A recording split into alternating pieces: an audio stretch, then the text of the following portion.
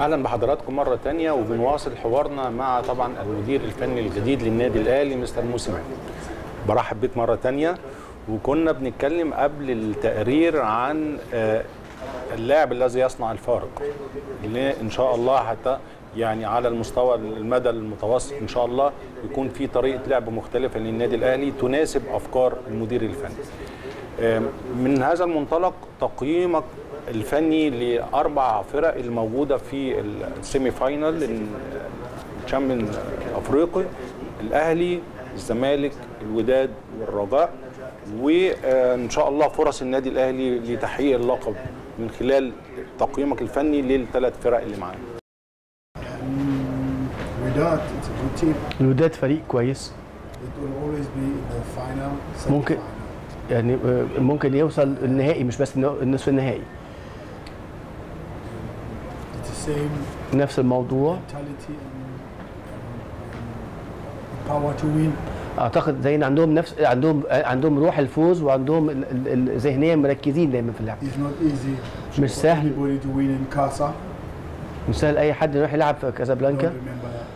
People winning a lot in Casa, but I, think Ahly won in Casa. أنا ما ما أعتقدش فرق كتير كسبت في كازابلانكا بس أعتقد الأهلي كسب قبل كده في كازابلانكا Mamelodi Sundowns never win in Casa. ماموريدي سان داونز عمرهم ما كسبوا في كازابلانكا مش قلقك آه، آه، النتائج أو هزيمة الوداد أعتقد أربع هزايم آه، للوداد مش قلقك الموضوع ده أو حتى على الجانب ال- النفسي شوية إن في مشكلة مع الوداد من خلال من خلال لقاءاتك الأخيرة وأنت المدير الفني لصن داونز. Yeah, we, it's either we draw or we lose. In إحنا الكوره بنكسب أو بنخسر. سامع مش سامع. In South Africa, we win. في جنوب أفريقيا كسبنا مع سان داونز كسبنا في جنوب أفريقيا. Now, I'm going with a bigger team, دلوقتي أنا مع نادي كبير النادي الأهلي. And uh, I hope, uh, إن شاء الله, أتمنى إن شاء الله. We we can bring the results, ممكن نجيب نتيجة إيجابية من كازابلانكا win in Casa. وممكن نفوز في كازابلانكا كمان But you don't have to win in Casa to win to go to لكن مش لازم نكسب في كازابلانكا عشان عشان نو- نوصل النهائي aggregate of the results. ال- النتيجتين على بعض ذهاب وعودة I always like to to go forward and try and win in Casa. لكن طبعا لازم لما نروح في كازابلانكا الدار البيضاء لازم نعمل نتيجة كويسة تساعدنا في الماتش العودة. تدينا أفضلية عشان ماتش العودة في القاهرة very well. آه، رجاء ما أعرفش فريق رجاء كازابلانكا.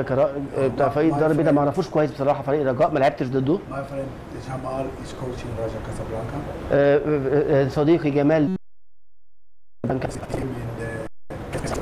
شفته قبل كده قابلته في في في, في الكافرو لايسنس في ده قابلته في المغرب قبل كده والتقيت بيه وكان قاعد جنبي خلال ال- الدورة. هو أعتقد هو مدرب كويس جدا Yeah, and um, that's what I know. But uh, What the- I, I believe I وأعتقد also know that Zamalek is a big team. طبعا نادي الزمالك نادي كبير ودايما بيبقى في ماتشات أهلي والزمالك بيبقى فيها طبعا طبعا فيها ضغط طبعاً. والزمالك وإحنا يعني مقتنعين تماما إن إن شاء الله النادي الأهلي يكون ليه القدرة للوصول للمباراه النهائيه اولا والخطوة الثانية أكيد هتبقى يعني إن شاء الله الفوز بالبطولة.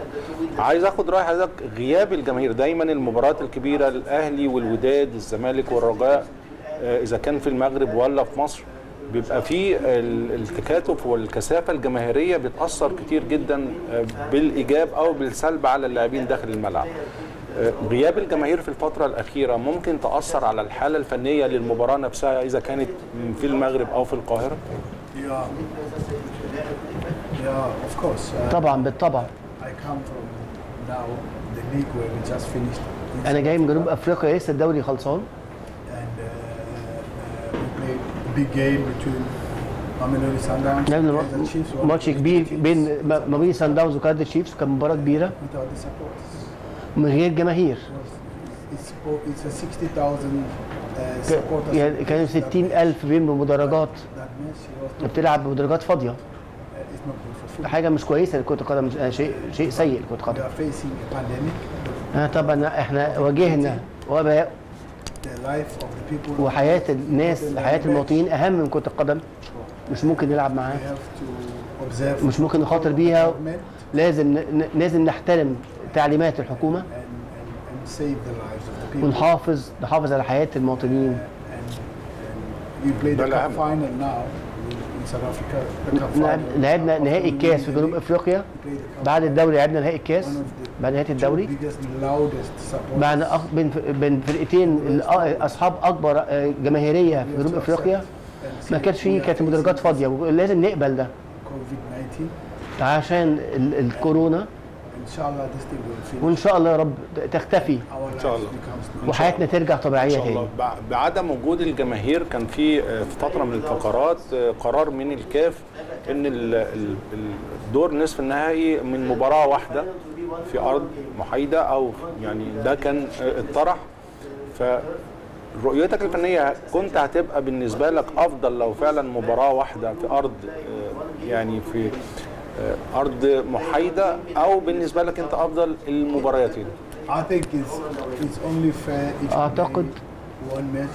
اعتقد من العدل إنك تلعب مباراة على أرضك ومباراة بره فيها عدل أكتر طبعاً. لما تبقى عندك ماتشين بقى عندك امكانيه تلعب كن يعني كنت. تفضل إن تبقى knock out مباراة واحدة في ملعب آه، محايد أو آه، حسابات المباراة الذهاب والعودة ممكن تأثر على تفكيرك Look, it, doesn't matter. بص You- مش هتفرق say ما أقدرش أقول لو لعبنا. ماتشين ممكن نكسب ما نقول one لو لعبنا ماتش واحد بس هنتأهل It's on the day. If it's a one day, هو على حسب يومك حسب أدائك اللي ممكن تلعب. يعني عشان أنت عايز توصل النهائي بطولة أفريقيا. لازم تستاهل. إحنا بنشوف في أوروبا لعبوا في بطولة أوروبا. كله كان. بيلعب في البرتغال مباراه واحدة. المفروض أنت ما, ما تهتمش إذا كان مباراتين أو مباراه واحدة. بس أعتقد المباراتين ده فيها عدل أكتر لكل الفرق. ودي كرة القدم لازم نتقبلها. وطالما جبنا سيرة الجماهير وغياب الجماهير خلينا نتكلم عن العلاقة اللي الناس كلها شافتها من خلال ال social media والعلاقة اللي بدأت من بدري شوية علاقة خاصة مع جماهير النادي الأهلي.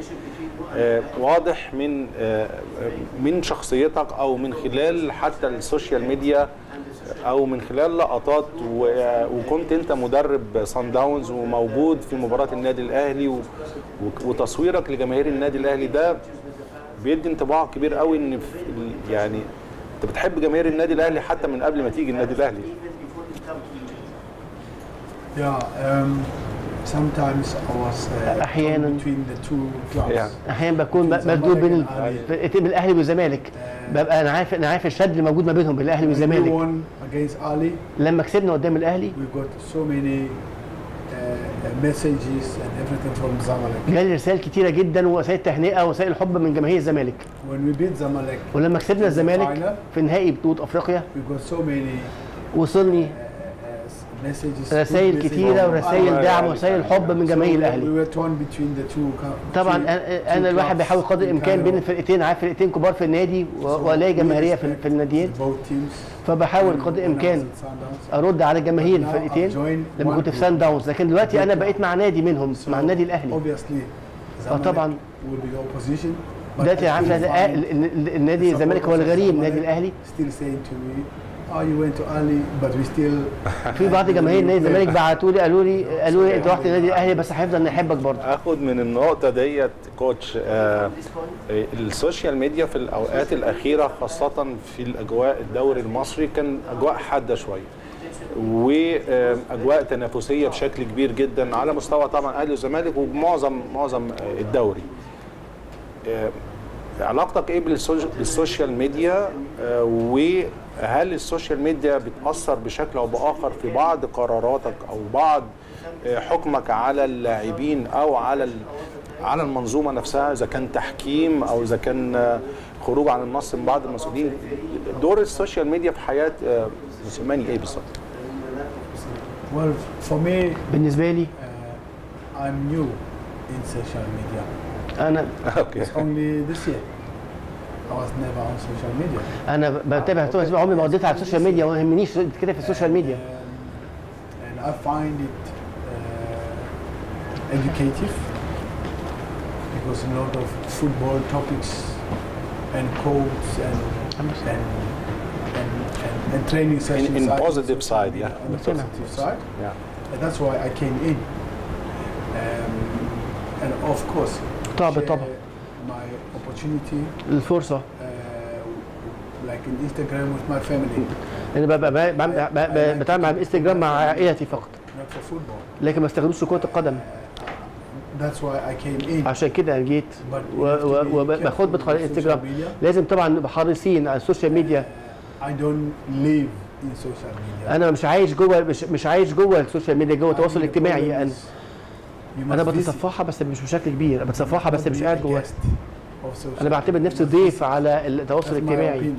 وده رأيي I'm agree with you إن المدرب المفروض يكون كده بالظبط I, I visit. I, I, I, I, I understand that uh, أنا متفاهم طبعا even in South Africa we have people حتى في جنوب إفريقيا talking negative, saying things. عندنا حاجات سلبية بتكون بسبب التواصل الاجتماعي لازم التواصل الاجتماعي the بت- people بت- to praise تسمح you. لل- لبعض It's their الجماهير. تنتقدك وت- وتفرض رأيها هنتكلم ده على رأيهم، ده النقد بتدخلش جاي. وهنتكلم كمان كيف يتعامل موسيماني مع النقد الرياضي بشكل بشكل كبير لكن خلينا نروح لتقرير واستقبال الجماهير آه، أو ردود أفعال الجماهير في تولي موسيماني ال- الإدارة الفنية للنادي الأهلي. نروح للتقرير ونرجع مع